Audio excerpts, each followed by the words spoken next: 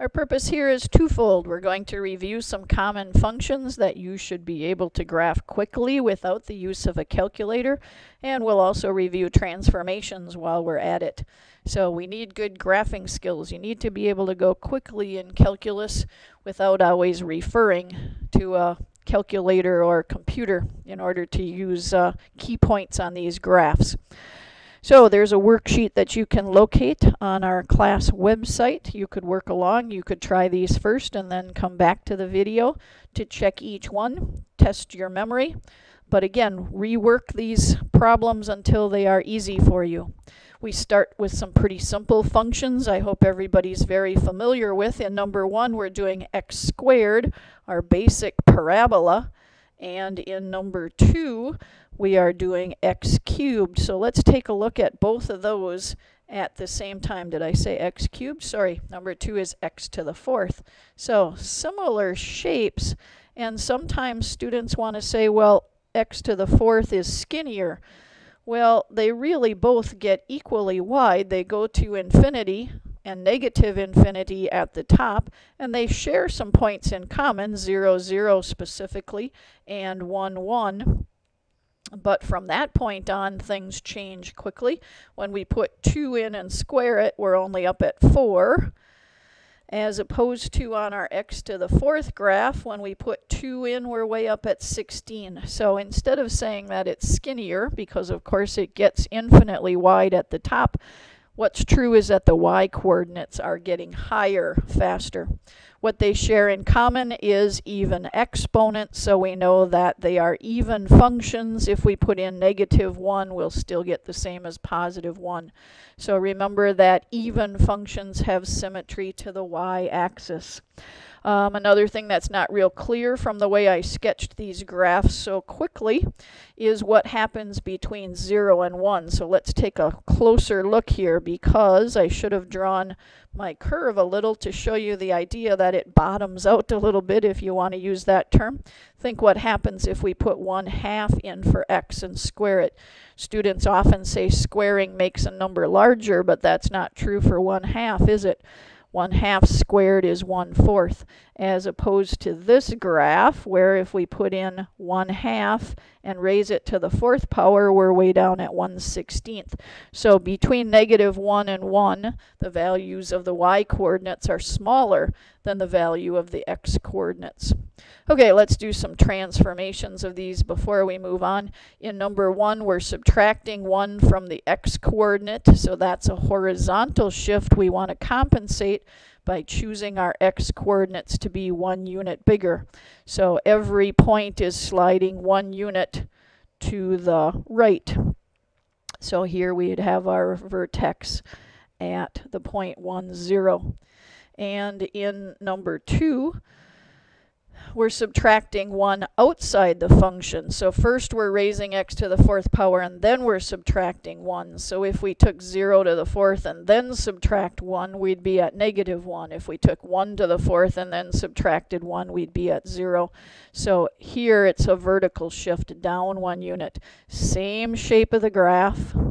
Same shape. The red should look the same as the blue, but one unit lower. In question number three, we've got a quick review of some basic Algebra 1. Uh, remember that f of x equals 3 is the same as y is always equal to 3. No matter what value you choose for x, we always get 3 for y. Every point on this line has a y coordinate that is 3. And remember that line has a slope of 0 because it has a run, but it has 0 for its rise. The second function there could be written in y equals mx plus b form to remind you that its intercept is at the origin and its slope is 1. So that is our 45 degree line. Um, and I should label at least one point on each of these. You don't need to label a lot, but show me that you know that you're counting by ones on those tick marks. Number four, the absolute value of x. That's a function you should remember. Absolute value of 0 is 0.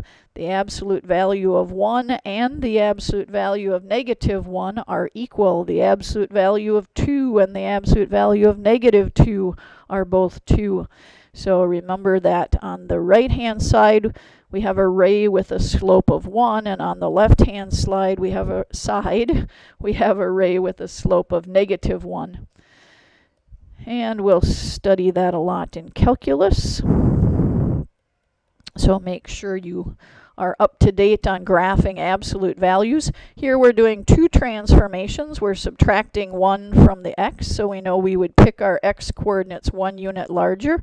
So our vertex slides from 0 to 0 over to 1, 0 and this negative is the vertical flip. We're doing the opposite of all of the y coordinates. Of course, the opposite of 0 stays at 0, but the opposite of 1 becomes negative 1. So same V-shaped graph, but everything is one unit to the right and upside down. So at 2, we would be at negative 1. And you can put 2 in there and check out to see that that works if you doubt why those transformations are working. All right, let's go back to question 5, the square root of x. Well, now we have an interesting domain. So our domain here, we have to avoid negatives because square roots of negatives are not real. But if we use interval notation, we can go from 1 to infinity as our domain. So pick some points that we know. Square root of 0 is 0. Square root of 1 is 1. Square root of 4 is 2. Remember that we would have to go way over to 100 before we would get up to a height of 10. So we could say that this graph is a slow riser. And then we're doing transformations. Well, think how that changes the domain. Here, for the first time, we know this negative sign outside the function is a vertical flip, but what about this negative inside the function? Well, think about our domain. In the first problem, we had to pick x's that were 0 or positive. Now we're going to do the opposite of whatever we choose for x.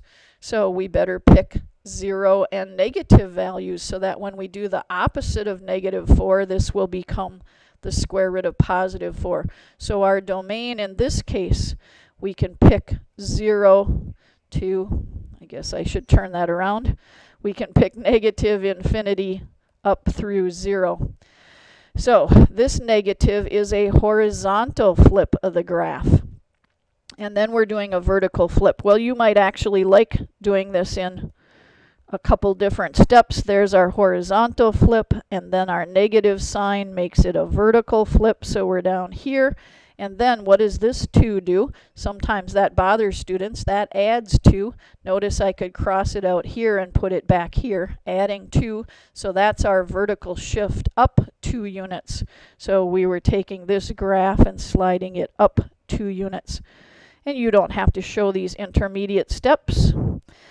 Again, this red graph is exactly the same as the blue graph. It's just transformed upside down, horizontal flip, and vertical shift up two units. So you need not show these intermediate dotted steps. Okay, well, what are we going to do with the cube root of x then? Do we have a domain issue here? Well, no, we can do cube roots of negative numbers. So let's think what happens here. Cube root of 0 is 0, and the cube root of 1 is 1. The cube root of negative 1 is negative 1. The cube root of 8 is 2. We have to go way over to 8 to get up to a height of 2. And if we choose negative 8, it has a cube root of negative 2. So notice that when we choose the opposite value of x, we also get the opposite value of y. That's the definition of an odd function. So it has symmetry to the origin. Well, how are we going to think about this g of x function when it has a 2 thirds? Why are these two related to each other? Well, this first function we just did, we could write as x to the one-third power. Let me make that look more like an exponent. x to the one-third power is what we just graphed. So now what are we going to do with this new function? This new function we could write as x to the one-third power. squared. So it's going to be very much related to the blue graph we just did. What are we going to do? We're going to take the cube root of every x coordinate and then we're going to square it. So if we take 0, our y coordinate, and square it, it'll stay at 0. And the square root of 1 will stay at 1, but here the square root of 2 is going to go up to 4. So our graph is going to rise more quickly. And let's think what's going to happen on the negative side. We're going to take these values, each of these y coordinates, and we're going to square them. So what happens when we square this y coordinate? It's no longer negative, it's positive. So not only does it get a higher value, it becomes positive. So look at this red graph here. This is x to the 2 thirds power, and you're going to get used to seeing that. We're going to call that a seagull. So you could label here the 0.84. And this is now an even function, so notice negative 8 gives us positive 4. So first graph, the blue graph was odd, symmetry to the origin. The red graph is even, symmetry to the y-axis.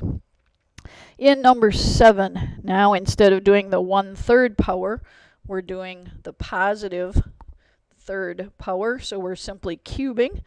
0 cubed, 1 cubed, 2 cubed. So it's going to rise very quickly. On the negative side, negative 1 cubed is negative 1 and negative 2 cubed is negative 8. So again, we have an odd function with symmetry to the origin. So label some points here that are interesting or easy. We'll see that that is odd because when we take the opposite value of x, we also get the opposite value of y. How is the second one related? Again, sometimes students don't like that 5 where it is. We're adding 5 to the function. So if you don't like that, move it behind. That's a vertical shift up 5 units. What is this opposite sign doing? It's outside. We're cubing x and then we're doing the opposite.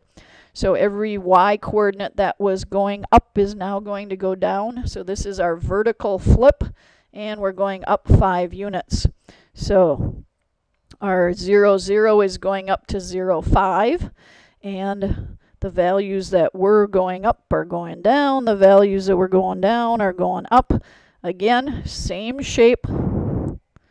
Same shape as the blue graph. So if you label a key point, that would be good enough. And we'll pick up on a second video for the bottom of this worksheet since this is getting a little bit long.